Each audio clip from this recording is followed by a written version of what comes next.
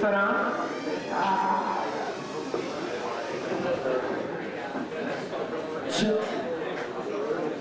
We're, mm.